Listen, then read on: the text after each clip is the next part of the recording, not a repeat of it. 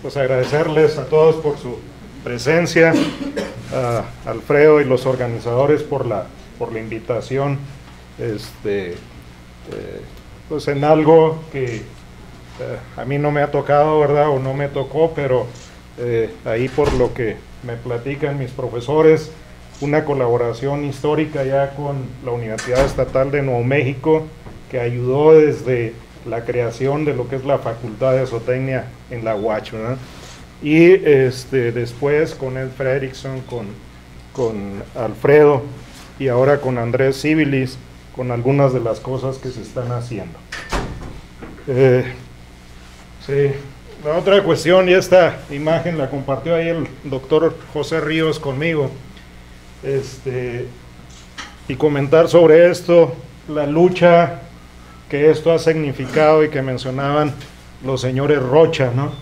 Para haber subsistido el ganado criollo que todavía existe con respecto a las razas especializadas. Y mencionarles este, que en este caso pues no ha sido nada más en la parte del productor, sino también para nosotros los académicos el poder conseguir recursos para poder hacer investigación con este tipo de ganado, con estos tipos de sistemas es muy limitada. Entonces a mí me pidieron que hablar un poco sobre los estudios que se han hecho en la UACH. Este, creo que es una cantidad muy modesta en el tiempo que se ha hecho el esfuerzo y también en cuanto a alcances. Se han hecho estudios este, no al nivel como se presentaban ahorita, pero que de alguna manera han generado algún conocimiento, algunas ideas que pueden ayudar a mejorar este, lo que es la producción del ganado criollo. Por otro lado, y, y sí recalcar lo que mencionó ahorita Alfredo, el hecho de que mi participación en este tipo de estudios este, ha sido un tanto limitada. Entonces, no soy el experto en criollo, me han invitado en algunos casos a, colaborar este, y eh, han sido de diferentes áreas. Entonces, cuando me lo pidieron, sí lo vi como un reto. Sin embargo, este, atendiendo a la invitación, pues traté de conjuntar algo de lo que mis compañeros han venido haciendo. Eh, nada más en esta diapositiva, un poquito de historia de cómo han bajado los números a través del tiempo, este, donde originalmente en Chihuahua, pues todo el ganado era criollo, ¿Eh? y cómo rápidamente a través de esas campañas como lo que veíamos ahorita, pues ahorita es menos de, del 10% lo que representa, a veces cada vez menos, aunque a veces hay un repunte como vamos a ver. Creo que algo de, y tener en mente esto, de lo que ayudó este, a todavía poder conservar y que haya un mercado para este ganado, es el auge que citan, también información que me pasa el doctor Ríos, los 60, 70, donde empieza este mercado para la parte de rodeo. Y esto también viendo en cuanto a los recursos que se tienen, el tipo de terrenos en el estado de Chihuahua, pues hizo que realmente la mayor población se replegue a estos municipios que mencionaba Alfredo, de la alta y la baja Sierra Tarahumara. Aunque este, en la actualidad ya algunos productores, sin que se los digan, han tratado de bajar y utilizar este recurso en la parte baja, en el desierto, ¿verdad? donde hay recursos limitados. En esa parte, yo creo muchos de ustedes les ha tocado ir de, de paseo a las barrancas del cobre, la cascada de Basasiachi, tienen una idea del tipo de terreno, la baja disponibilidad y el difícil acceso a los forrajes ¿no? que necesitan estos animales para mantenerse. Ok. Empezando ahora sí con la reseña de los intentos que se han hecho en la UACH. Eh, fue en 1991 cuando, pues a iniciativa y, por el interés del doctor José Ríos, eh, con la relación que, que tuvo él con la Asociación Ganadera Local de Criadores de Ganado de Rodeo. Es la única dentro de lo que es la Unión Ganadera en el Estado que recibe este nombre, ¿no? especializada a este tipo de ganado. Se adquirió un lote de 22 vaquillas ahí en el municipio de Urique y se llevó a lo que es el rancho experimental TCH de la Universidad Autónoma de Chihuahua, pensando en empezar un trabajo para obtener información más formal en eh, parte del rancho con este, una eh, topografía pues un tanto de sierra elevada, ¿no? quebra un poco parecido, no tan extremo como, como está en, la alta sierra. Sin embargo, y vuelvo a lo de ahorita, es un tanto difícil trabajar primero cuando se tiene que luchar contra este tipo de campañas sobre ideas ya muy arraigadas que se tienen acerca de este tipo de ganado que se considera improductivo y sobre todo el trabajo que se tiene que hacer de abrir mentes a nuevas perspectivas. Porque incluso nuestros mismos colegas en producción animal, los ingenieros o tecnistas, pues la mayoría rechaza estas ideas.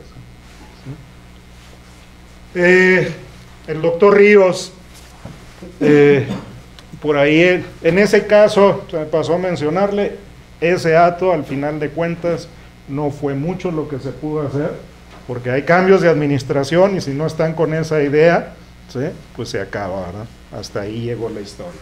Entonces el doctor Ríos, cuando termina una posición administrativa en la UACH, viene a una estancia aquí a las, a las cruces y eh, ya él se mete más con la parte del enfoque del ganado criollo para rodeo, que es el mercado ¿no? que, que se tenía.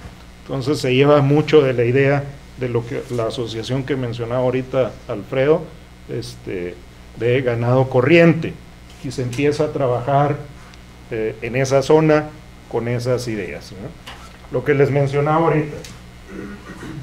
Cuando él estaba aquí, yo acababa de regresar del doctorado y este, pues de alguna manera me enganchó, ¿no? Aunque fuera por un ratito, con esta idea.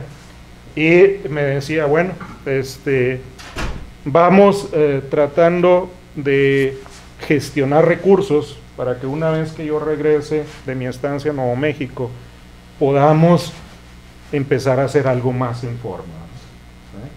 En ese entonces la información que se tenía era normalmente en revistas de difusión y normalmente era información de tipo histórico y anecdótico. Había muchos mitos, le llamo yo, o ideas muy arraigadas, sin mucho sustento. En este caso, una de ellas, y todavía con mucha gente piensa es un ganado con un pésimo desempeño reproductivo. ¿Y a qué se debe eso? Y normalmente el argumento que daban la gente, los académicos, era que el tamaño de ato era demasiado pequeño y había mucha consanguinidad. Lo mismo, carne de pésima calidad. Y aún se tiene eso, aún cuando se ha generado información ya en diferentes lados, en países como Argentina, Colombia, ¿verdad? Donde demuestran que la genética es para una carne de buena calidad. ¿sí? Sobre todo una carne blanda. Entonces eh, fue así, como en ese entonces, con la, con la ayuda y las ideas del, doctor Ríos, del doctor Luis Carlos Fierro, que no vino, este, sometimos un pequeño proyecto ahí para obtener recursos y obtener más información de lo que era la producción del criollo en esa zona. Este, ver cuestiones desde la caracterización fenotípica, muchas mediciones, ¿verdad? ver qué características de color y otro tipo de cuestiones, y también obtener algo más de información de cómo era que se estaba produciendo. ¿sí? a través de entrevistas y ese tipo de cuestiones en los mismos viajes. Por ahí Jorge y Horacio eran mis estudiantes en ese entonces y hicieron el servicio social en este proyecto. Jorge posteriormente, cuando se trajo a Socriollo a Chihuahua, él fue el primer presidente de esa asociación. Obviamente sí, con algunos kilos menos, yo creo, ¿no? Para los que conocen a Jorge. Entonces, cosas, les digo, también mucho buscando la información hacia el, mercado del rodeo, ¿verdad? ¿Sí? Estos eran eh, toretes que, se estaba a través de un programa de fomento del gobierno del estado, tratando de evitar esa consanguinidad que supuestamente existía, traer sangre nueva de otros lados. ¿verdad? Entonces, de lo que se caracterizó, ¿verdad? Cuidando características de los cuernos. ¿En qué medida cumplían con lo que pedía el mercado del rodeo en Estados Unidos? Diámetro de los cuernos, colores, ¿no? Esta me llama la atención porque una reunión, eh, fue creo en septiembre, octubre, por ahí, que asistí, este, y normalmente los colores que tienen estos animales se relacionan mucho con las razas ya más definidas actuales en España. Este, los berrendos, la retinta, rubia gallego, ese tipo de cosas. Y en la literatura que les digo que normalmente revisa uno, este, dice, no, es que el ganado criollo es originario de tales y cuales razas. Escuché una eh, plática de un colombiano que ha estudiado más este historial y, dijo algo que me hace mucho sentido. Dice, es que cuando llegaron estos animales aquí, no existían todavía las asociaciones de raza en España, ¿verdad? Entonces no había raza, era una mezcla, ¿no? una diversidad como la que se tiene actualmente en lo que tenemos aquí. La otra cuestión que me llama la atención, y, Alfredo insiste mucho, ¿no? de los pocos datos que se tomaron en cuanto a pesos, por ejemplo, o alturas, la distinción que se hace de los animales de la alta eh, sierra y de la, de la baja, ¿no? de la parte baja de la barranca. Eh, becerros vemos muy pocos datos aquí, pero vemos eh, los pesos en kilos y vemos que sí, en la parte alta, en la zona templada, hay pesos más bajos, ¿sí? ganado más chico. Pero luego vemos en las vacas y me llamó la atención, ¿sí? o los toros, y es más o menos lo mismo.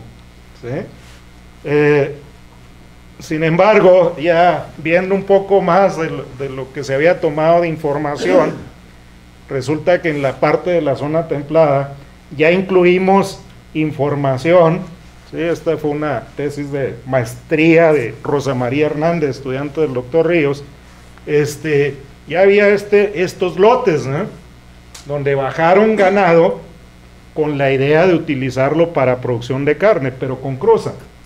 Sin embargo, acá donde hay mucha disponibilidad de forraje, pues resulta que los enanos crecieron. Y veo yo muchos de los muchachos que vienen aquí a los Estados Unidos, de, los ranchos, de los ejidos donde nosotros vivimos, y de repente regresan ya son unas gentes muy altas, ¿verdad? Entonces era la genética o era el ambiente, ¿verdad?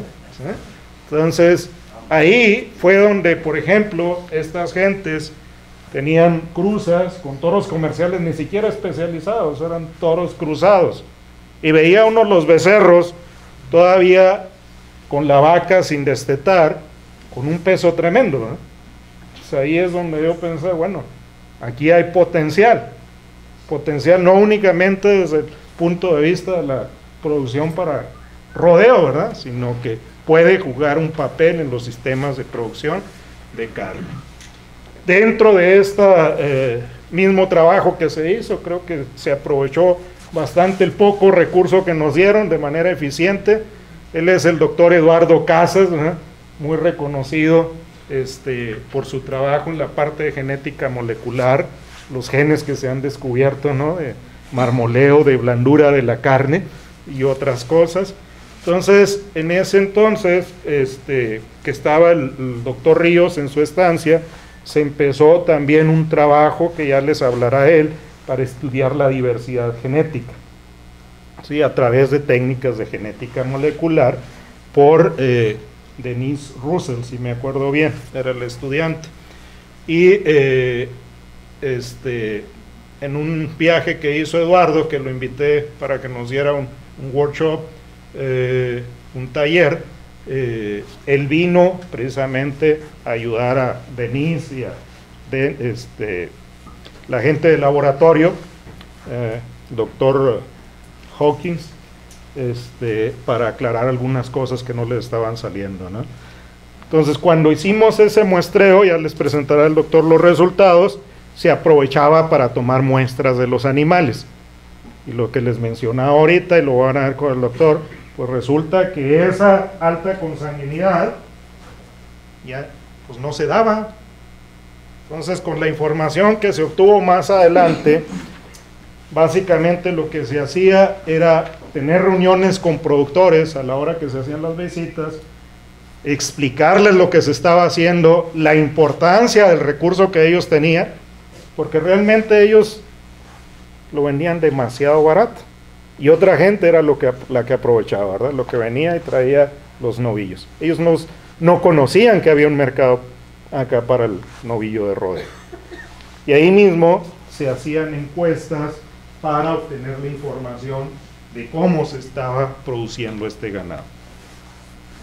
Y efectivamente, con el tipo de gente que menciona Alfredo, ¿verdad? sin muchos recursos, pues lo que más domina son tamaños de dato muy chicos. Y pues, son mínimos los que lo hacen a nivel ya más empresarial, más comercial. Cuestiones del mismo sistema con recursos muy limitados de alimentación. ¿A qué edad obtienen su primer parto? Las vaquillas, ¿no? para nosotros, por la edad, ya lo definiríamos como vacas. La otra cuestión, este, ¿cuándo es que están pariendo? Y resulta que todos se agrupan y a lo mejor, no sé, eh, este, Andrés Quesada, en su presentación, mencionan algunas gentes que, que este ganado se ha hecho estacional. La cuestión es en qué medida, a nivel hormonal o en qué medida por la, el manejo y la restricción de alimentos. Esta es una gráfica que tuve que rescatar el documento ahora el fin de semana en la biblioteca, ¿verdad? Lo que se había obtenido también en ese entonces. Y veamos el manejo, ¿no? Que dice la gente de lo que hacía. Cuando juntan sus animales? Resulta que lo hacían en estos meses, más o menos cuando están pariendo, ¿verdad? y que hay que ayudarle al animal con el poquito forraje que ellos almacenan de maíz o otras cosas con las que cuentan, ¿verdad? El rastrojo. Pero luego también, en esta otra parte, ya con las lluvias, para ordeñar los animales y hacer sus quesitos que mencionaban por ahí ahorita, ¿verdad? Muy sabrosos. Entonces, vemos eh, lo que ellos mencionaban de porcentajes de preñez y efectivamente bastante bajos. Pero realmente es por la genética, una de las cosas que veíamos nosotros, ya cuando traemos esos animales acá abajo, este, con más disponibilidad de alimento, y las tasas de preñez mucho más altas. Pero fíjense, viendo cómo los producen, por un lado, todos estos productores que tienen de 1 a 10, que son la mayoría, pues resulta que no tienen ningún toro. Entonces, ¿qué tanto eso influye? Pero esto nos da la respuesta de por qué no había tal consanguinidad. Pues resulta que casi no hay potreros tampoco. Pues todos los animales, la mayor parte del tiempo andan juntos. Entonces se cruzan con toros de diferentes atos. Entonces hay una diversidad tremenda ahí. Vean los que ya tenían de 11 a 25, todavía algunos, aún así no tienen toros. Y ya estos grandes son los que tienen los toros. La otra cuestión, cuestiones muy sencillas que se pueden corregir y hacer que el sistema sea más eficiente. La edad al destete, una muy buena proporción a edades grandes. Entonces, si no hay toro, si no hay comida, y todavía la vaca trae el becerro ahí amamantando, ¿cuándo se va a preñar? Y esta es otra parte que me llamó la atención. Cuando yo era niño, mi padre y mi madre me platicaban mucho de cómo labraban la tierra con bueyes, pero yo nunca lo había visto. Y la primera vez que fuimos a levantar información ahí al rancho de, de Jorge, ¿verdad? Y llegamos y vi esta imagen, ¿verdad? Pues me llamó mucho la atención y finalmente entendí cómo era que funcionaba. Lo primero que hice fue a tomar una foto, ¿verdad? Pero, volviendo a la de ahorita, estos no son bueyes, son los sementales del rancho. Y al igual que el hombre, ¿verdad? Que trabaja en el medio rural, después de hacer todo el trabajo pesado, tiene que ir a cumplir con sus obligaciones reproductivas. Sé tan efectivo sea eso. Este, eh, de esta información, como lo mencionó Giovanni, pues surgió mucho de lo que están usando ellos en Azocriollo, ¿no? para este, determinar las características de la raza y esas cosas. Era la tesis de Rosa María Hernández, lo complementaron ya para otros estados y está disponible en este sitio, ¿no? para quien guste. Bueno, al final de ese proyecto, este, organizamos ahí un criollo, se estaba conformando lo que era el Consejo Nacional de los Recursos Genéticos Pecuarios en México a nivel nacional y nos tocó coordinar ahí en la UACH eh, el de criollo, ¿verdad? Y eh, en base a esa información, pues yo de las recomendaciones que hacía, Sin, sin conocer mucho del sistema, nada más por pura lógica, pues uno de los aspectos que yo señalaba que había que estudiar más a fondo es la cuestión del comportamiento de pastoreo de, estos animales. Sin embargo, pues ahí la labor de convencer a mis compañeros manejadores de pastizales pues no, no fue muy buena, ¿no? Ahorita les comento más acerca de esto. Pero la otra cuestión, sistemas de alimentación, y en este caso, poder producir a bajo precio y sobre todo en las distancias, en los lugares que están ellos, pues es, es difícil poder apoyar a esos animales con más alimentación y, por, y, mejorar los parámetros productivos. Entonces tiene que ser con ingredientes que se puedan obtener a nivel regional. Y sobre todo estudiar muy bien los sistemas de manejo y de producción para poder obtener esos detalles finos el ponente de Argentina ahorita mencionaba, como pequeñas cosas hechas en el momento adecuado pueden cambiar toda la historia. Parte de costos de producción, eso es clave, y esa es una de las deficiencias que yo siento en el área este, agropecuaria en México, que no tenemos mucho especialista este, de buen nivel para poder hacer este tipo de análisis y que ahorita eh, estamos buscando la colaboración con gente de aquí de la Universidad Estatal de Nuevo México para que nos pueda apoyar en esta parte. Y aquí es lo que les mencionaba ahorita, O sea, imaginarnos que estos animales subsistan buscando el alimento de esta manera, pues ya es mucho. El que todavía estén ahí. Metemos otro tipo de animales y nunca van a subsistir. Pero también veíamos que este recurso se pudiera este, aprovechar a nivel de otras latitudes, pensando en cruzamiento, sobre todo pensando en el criollo como una raza materna por excelencia, que nos cueste poco, bien adaptada, buena reproducción y buena habilidad materna. Y también buscar mercado de otros productos, hablaban de los quesos y el precio que pueden obtener los quesos a nivel regional. Pero también lo que ya han venido mencionando de la carne, carne diferenciada que puede tener un producto agregado. Y a nivel más de entendimiento, a nivel académico, características de metabolismo. ¿Qué tienen estos animales en especial que los hacen tener esas características? irnos a la parte de genética, siempre tenemos el sesgo, depende de la especialidad de nosotros, ¿no? De ir y buscar genes de adaptación, en base a estos mecanismos, ¿verdad? Como es que se han adaptado a una alimentación limitada, las características de deposición de grasa que ya se mencionaron, resistencia a enfermedades o a parásitos o otras cosas.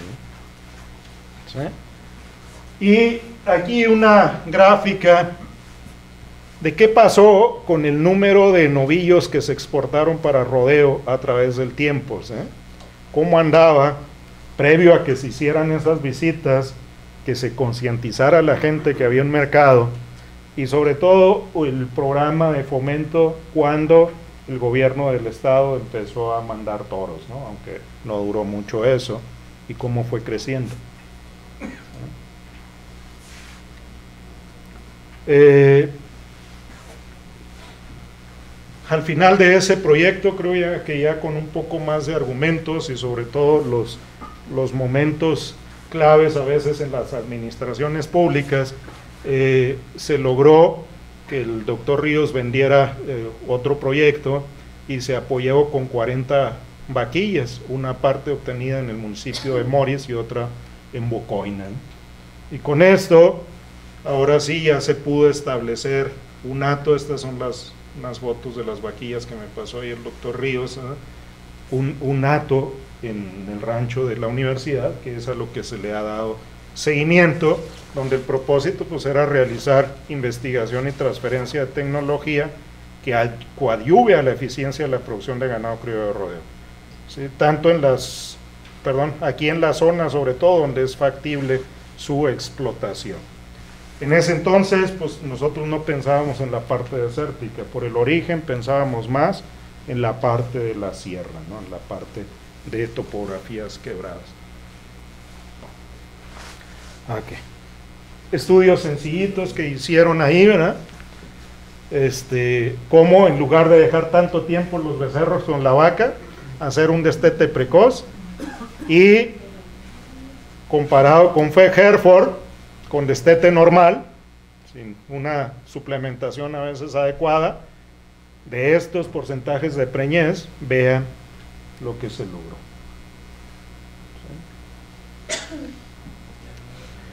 Eh, en la parte de reproducción, el doctor Alejandro Ramírez, él es especialista en, reproducción, este, estuvo trabajando desde antes, ¿no? Con vacas que quedaron del, primer lote en tratar de entender qué pasaba con la fisiología de estos animales. Porque intentaron hacer programas de sincronización y muchas de esas vacas no respondían, no presentaban el calor del estro. Y pues de las que respondían no se preñaban, muchas de ellas. Entonces estuvo trabajando con unas pocas de vacas, dando seguimiento a dinámica folicular, desde este, crecimiento de folículos, ovulación. ¿Y qué pasaba? En ese entonces este producto comercial era el que se usaba mucho, el Synchromate B, y lo que se reportaba en las razas de carne es que se presentaban lo que le llaman folículos ováricos persistentes que no ovulan, cuando los animales se les aplicaba el implante al inicio del ciclo estral. Entonces, eh, ellos lo, hicieron, ¿verdad? Y se presentaban más que en el caso de, las que comparaban que eran Hereford, pero lo hicieron al principio, lo hicieron a la mitad al día 13 y lo hicieron al final al 17. Y en todos los casos había vacas criollas, y era común que presentaban esos folículos ováricos persistentes. Y por otro lado, en esos casos, aunque con pocas observaciones, el porcentaje de animales que mostraban estro muy bajo. La otra cuestión de que se quitaba el implante a que presentaban el estro, el tiempo era más largo. y la duración del estro menor. Entonces muchos de los animales, aunque lo presentaban, a veces no los detectaban, cuando, sobre todo cuando querían trabajarlo por calor. ¿no? Y el tiempo del, del, explante a la ovulación, de que quitaban el implante a que ovulaban, pues se alargaba, pero realmente la parte clave estaba de, en la duración del estro en cierta forma, ¿no? Y el tiempo del explante al estro, no tanto el tiempo del estro a la ovulación, que era muy similar. Ya después, eh, con el otro acto, eh, el primero fueron dos estudiantes de maestría que estuvieron trabajando, Florentino Torres y este, José Alfredo Gómez, en este fue un estudiante ya de doctorado eh, que vino del INIFAP, Juan Zárate, y él estuvo viendo diferentes esquemas de, cómo tratar de, modificar los protocolos de sincronización, hasta que encontró algunos que ya las vacas al menos lograban que salieran bien en esto. Sin embargo, los porcentajes de preñez pues demasiado bajos. Este, posteriormente, ya en el, uno de los proyectos que mencionaba, me parece que Giovanni, ya que hicieron acá en el INIFAB, eh, todavía le estuvieron moviendo más a los protocolos, yo no le entiendo mucho a esto, pero lograron subir ya más los porcentajes de preñez y creo que, este, no creo, eh, eh, Andrés va a hacer una presentación en donde el doctor Ramírez siguió trabajando ya con él, con otros datos, y han logrado este, afinar más ese tipo de detalles. Ok. En la otra parte, ya el enfoque hacia la producción de carne.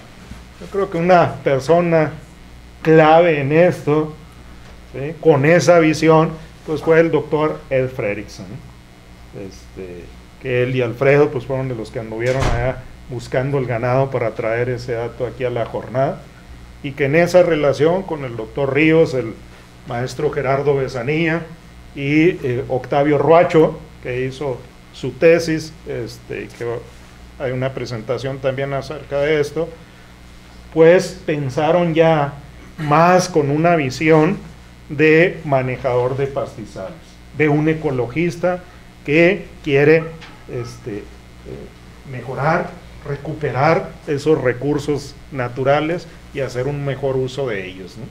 Entonces salió esta, esta tesis eh, básicamente de Octavio Ruacho con la asesoría de Gerardo, de Ed y eh, Raúl, no sé cómo lo pronuncian, Peinetti, argentino también, ¿verdad?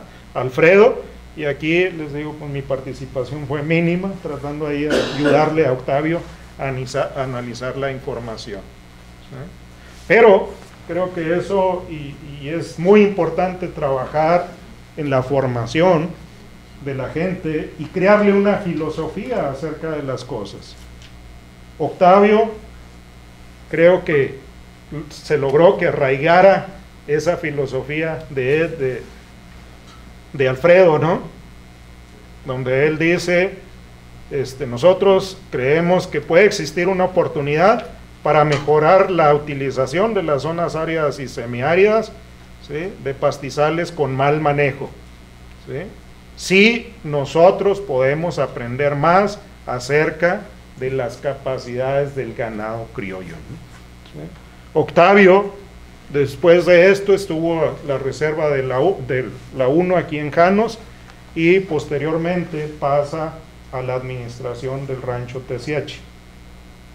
Y creo yo que si no fuera por él, ¿verdad? Y su insistencia, y a veces que me pide la ayuda, que abogue también por esto, ese acto también hubiera desaparecido.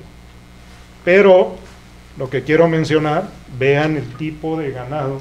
Esta es una foto que tomé ahora en el 2013, ya un tanto diferente a lo que había llegado. Lo mismo que comenzó, comentaba Alfredo de la jornada. Yo creo que ahí este, Joel y este, los demás de la, hermanos de la Rocha reconocen luego, luego esos toros, con genética diferente que se ha venido utilizando, se ha podido cambiar y vean algunas de las vacas y compárenlas con las angus ¿no? que se tienen ahí. En cuanto a tamaño, vean esta otra. Ok, entonces trae esa, esa mentalidad ¿no? Y se ha ido trabajando en ese sentido. Por ahí, eh, hace que son unos tres años que cayó mucho el, el mercado ¿no? del, novillo de rodeo. Está una situación difícil. ¿no? Ya hace cinco de esos, se pasa el tiempo rápido. Y eh, hubo una reunión de Azocriollo con la Secretaría de Desarrollo Rural del Gobierno del Estado. Y por ahí me invitaron a mí, ¿verdad? Y estaban viendo, bueno, qué cosas se pueden hacer eh, como alternativa a lo que es nada más el, ganado criollo de rodeo por este, lo vulnerable que puede hacer, ¿no? Este, la eh, subsistencia de ese ganado, si nada más lo dejamos a un solo mercado.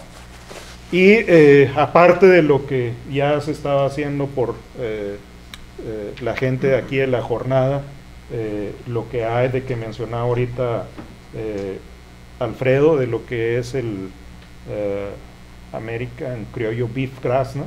es la, la asociación, que ya le dan uno una idea. Yo también, este, al pasar a veces que viajaba a los Estados Unidos, en algunos lados, por ejemplo, entrando por Ortinaga, veía atos con las vacas criollas y con crías angus.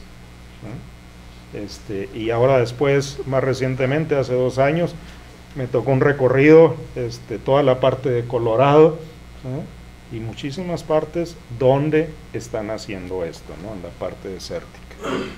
Pero también buscando ahí lo que ellos están haciendo, me llamó la atención el hecho de que dicen, carne blanda certificada por ADN.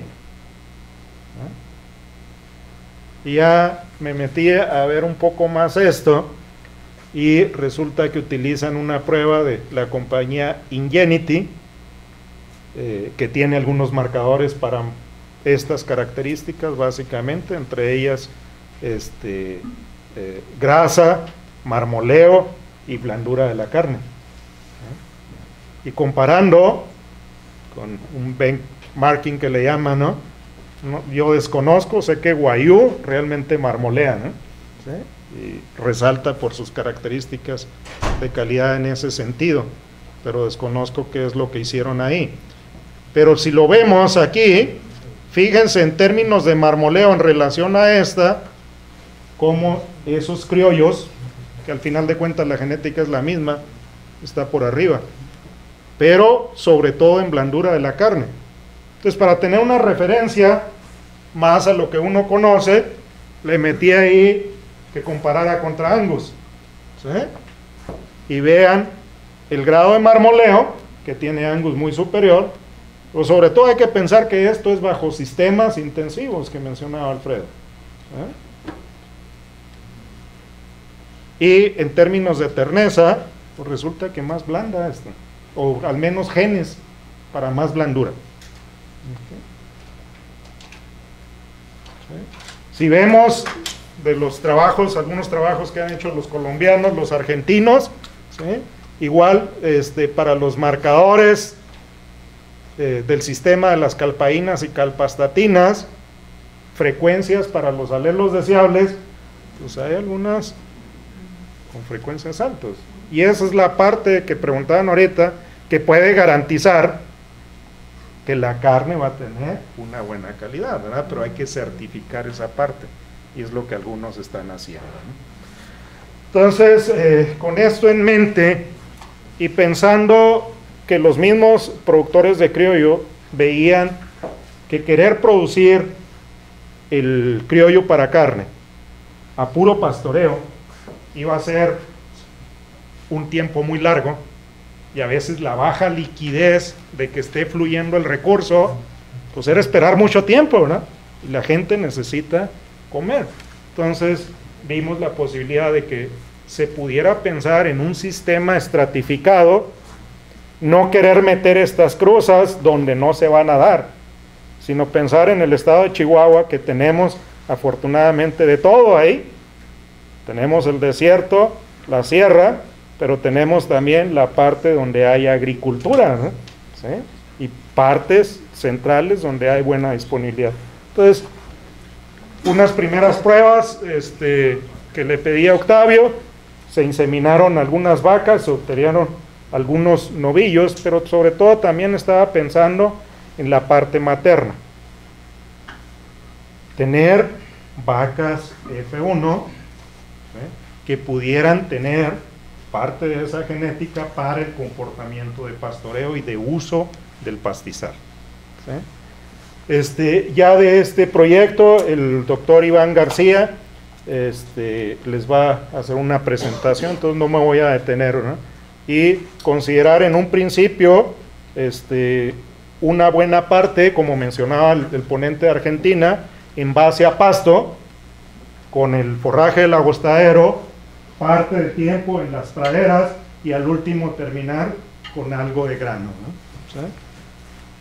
Pero luego también ver qué pasa con lo mismo que ya habían hecho con el criollo Ed y Octavio y Alfredo, con la distribución del pastoreo. Y lo que se vio aquí fue que las vacas F1 tendían, no igual que el criollo, pero tendían a hacer un mejor uso del, del agostadero que en el caso de las Angus. Eh, se hizo después eh, una prueba, está aquí mi estudiante de maestría, Edgar, eh, tratando de ver, ya con la anterior se había hecho algo también de eficiencia alimenticia, medir consumos individuales este, en la parte de finalización y ver cómo se comportaban con respecto a los animales ya especializados y a los criollos puros. Y ahí se vio un indicio que el criollo en términos de energía para mantenimiento, este, era más eficiente que los otros. No suficientes este, eh, datos como para demostrarlo estadísticamente, pero se vio esa tendencia. Entonces la pregunta era, bueno, nos interesa que para mantenimiento las hembras son las que tienen esa característica, porque esas son las que hay que mantener por mucho tiempo en el agostadero, ¿no? Entonces pensamos en una dieta para hembras en base más a forraje. Y también se corrió esa prueba. Hay un pensamiento ahí, una frase que leí en una de las presentaciones de los colombianos, dice, una especie verdaderamente aporta alimento al hombre cuando, cuando no compite con él mismo por su alimento, ¿no? que me llamó la atención y va acorde. ¿no? ¿Qué fue lo que vimos? Nosotros esperábamos para que estos animales sean más eficientes en el uso de la energía para mantenimiento es que para un mismo peso o para una misma ganancia, aquí estos animales, por ejemplo, este es el peso metabólico medio, ¿no? a la mitad de la prueba. Estos animales que tienen el mismo peso que estos que están arriba, consumieron menos entonces son más eficientes que estos otros. Aquí en rojo están los criollos, las becerras criollas pura, en verde la cruza y en amarillo la cruza Herforangos.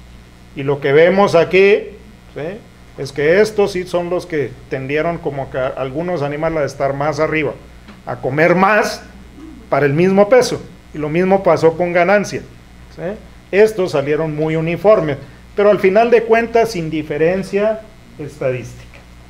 Ya viendo más a detalle con lo que ha pasado con lo de carne, realmente para estas variables donde se ve la diferencia es en los eh, dietas con más contenido de grano, no tanto en las que están en base a forraje. Sin embargo, algo que sí podemos ver aquí, ¿verdad? Es que animales de menor talla comen menos, y eso es lo que ya sabemos, ¿no? Entonces la lógica todavía sigue ahí, que son animales que nos van a costar menos. Ahora ya con las este, vacas que ya parieron, estas son cruzas F1. Ahora esas nacieron en el 2012. Eh, y esto eh, apenas tomó las fotos Octavio para pasármelas, pero aquí podemos ver la diferencia en talla, aunque esas son extremas. Viendo ya los pesos, es algo que me pasó ayer, este es un pesaje que hizo en septiembre. Eh, estas son las cruzas F1, no son las criollas puras, son las F1, 338 kilos contra las Angus o Hereford Angus contemporáneas 390. Y aquí está el rango de pesos. Entonces, creo yo que para situaciones intermedias, condiciones no tan extremas de baja disponibilidad, todavía es una buena opción, que nos va a costar menos. El hecho de que no tengamos que suplementar mucho alimento extra. De hecho, ahorita ahí en el rancho se está suplementando únicamente con minerales, tanto a las criollas como a la cruz, y con muy buen desempeño. Y la otra cuestión, ya viendo más adelante, pensando en esos eh, mercados este, donde podamos llegar con mayor producto, eh, pero también mucho el interés desde el punto de vista académico. Ahorita mencionaba el ponente de Argentina y no sé para ustedes, pero creo que hay mucho académico aquí que sabemos que la parte epigenética juega un papel importante. Papel importante que juega qué sucede durante la gestación de la cría y en las etapas tempranas de su vida con respecto a su desempeño productivo. Y eso se maneja también mucho en humanos. Y ya se ha demostrado mucho en, las razas de carne que animales o bequillas que no se desarrollan bien van a tener problemas reproductivos durante toda su vida. En ovinos se ha demostrado que ovejas a las que no se las alimenta bien durante su gestación, las hijas se van a tener un pobre desempeño reproductivo.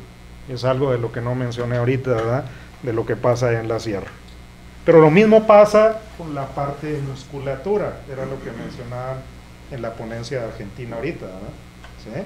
¿Qué pasa con el desarrollo de músculo de carne y qué pasa con el marmoleo? Pues mucho se define aquí. Entonces, Ahorita lo estamos tomando como modelo, es un estudiante que va a empezar de, doctorado para tratar de ver cómo hay una, le llaman el maternal imprinting, ¿no? como impresión materna en la gestación y que le va a afectar al desempeño de los animales, pero desde el punto de vista cárnico.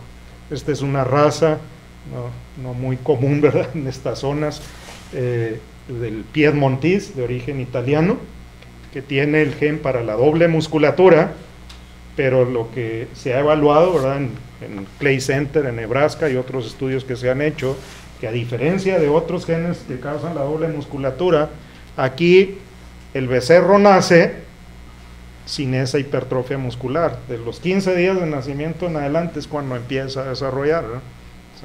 Entonces no hay un problema, sobre todo en la F1, de problema al parto.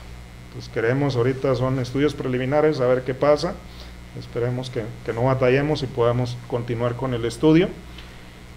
Y la otra cuestión es que aparte de dar eh, mayor músculo, mayores rendimientos en canal, como un 10% arriba de los otros, da una carne con menos grasa, entreverada, pero carne blandita. Entonces es parte de un nicho de mercado que de alguna manera. Pero eso ya es después. Este, queremos ver sobre todo qué pasa y pensando de esta manera. Si yo tengo, y es lo que pasa en nuestros sistemas de producción, tengo una vaca con altos requerimientos y no se los proporciono durante la gestación, ¿qué va a pasar? ¿Qué va a pasar con el desempeño de sus crías? Entonces, si tengo una vaca con menos requerimientos, que los cubre más fácil con lo que hay en el agostadero, pues yo esperaría que esos efectos negativos de las restricciones que hay durante la gestación no se manifiesten tanto. Y esa es más o menos la hipótesis o la idea con la que queremos trabajar en esto. Otra parte, seguimos y agradezco a Alfredo, a Andrés, el hecho de que nos están jalando siempre ahí este, a seguir activos en esta área del, del, criollo, aunque como mencionaba, no es algo que yo le haya dedicado mucho tiempo, ¿verdad? Este, ahorita estamos tratando de involucrarnos un poco más, eh, haciendo estudios de comportamiento, este, un, les va a hablar yo creo Andrés, no, Alfredo, de esto, este, de la relación vaca-cría, que es muy importante en pérdidas por depredación, pero que también eh, el interés de Andrés es, eh, y de Alfredo ver en qué medida el hecho de que la cría esté siguiendo siempre a la vaca la restrinja un tanto a ir a buscar el alimento más lejos, ¿no? ¿Ah? porque tiene que estar al pendiente de la cría. Cosas de ese tipo son en las que ellos están interesados. Entonces traen sus GPS y este, un sensor de proximidad para saber si la cría está. Este, la otra cuestión, ver composición de la dieta. Aquí no es nada más importante que vayan y busquen el alimento, ¿verdad? Es cómo combinan con las diferentes especies forrajeras que hay en el agostadero, qué combinación están haciendo que les ayude a completar mejor sus requerimientos nutricionales. Y esa es una habilidad que los animales aprenden a través de selección natural. Entonces, más o menos son tipos este, de cosas que se están haciendo y espero que cada vez tengamos acceso a más recursos. Acabamos de someter una propuesta ya más este, en forma, ¿verdad? Si logramos, creo que podemos hacer algunas cosas, ¿no? Este, pero la otra cosa, hay mucho joven aquí. Y eso es lo importante. Yo traté de enganchar gentes de los investigadores, en los que ya a veces siento que va a ser muy difícil cambiarle la mentalidad. Entonces este evento, Alfredo, que estás promoviendo, pues creo que es muy importante para ir creando conciencia en los muchachos y sobre todo irles cambiando paradigmas. ¿no? Es más fácil cambiar la forma de pensar y que vean otra, otra forma ¿no? de cómo se pueden hacer las cosas. Muchas gracias, espero que no les haya quitado mucho tiempo para la.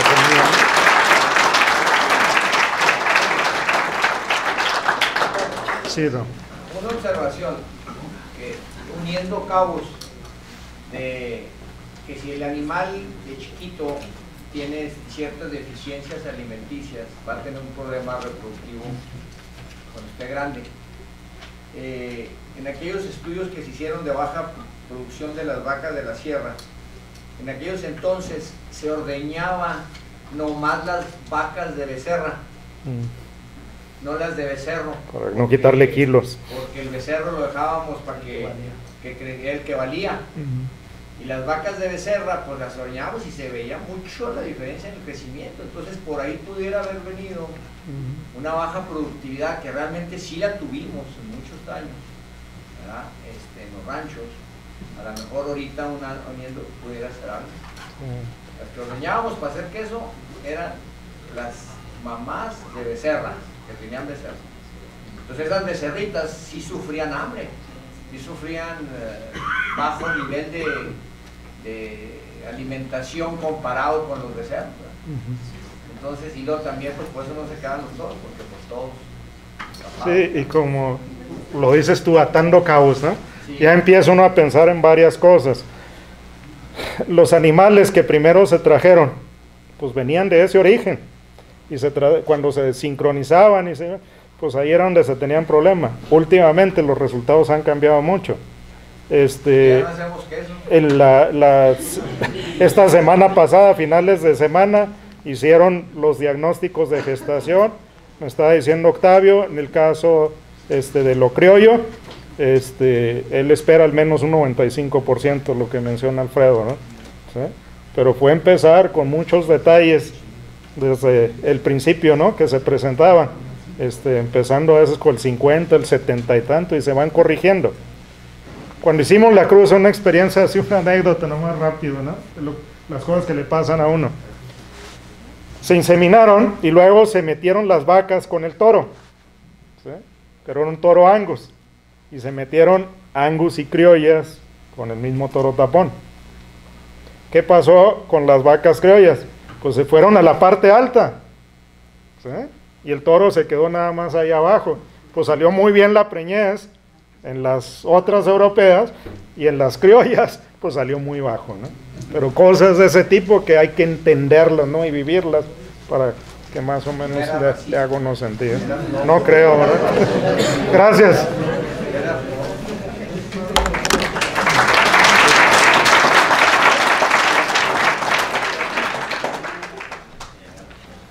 Este, entonces ya llegó la hora que todos estamos esperando. Este, solamente sí quiero decir que el futuro nuestro es los jóvenes y gracias por estar aquí, ustedes que están estudiando ahora la ganadería o ciencias veterinarias. Creo que el futuro está en ustedes, ustedes tienen que ver que hay opciones. No es siempre nomás lo que leen, lo que ven, siempre tienen que pensar afuera de la caja vean otras opciones, otras alternativas, y eso es lo que estamos tratando de hacer aquí dar otras alternativas, otros modos de pensar y en realidad en el futuro dependen de ustedes y gracias por estar aquí. Vamos a comer.